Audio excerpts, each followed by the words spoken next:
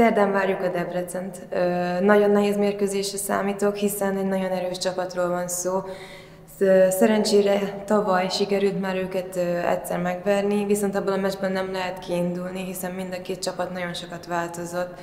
Úgy gondolom, hogy nagyon jó nekünk, hogy hazai pályán tudjuk játszani ezt a mérkőzést, hiszen a szurkolóinkra mindig is számíthatunk, és most szerdán is nagyon nagy szükségünk lesz rájuk.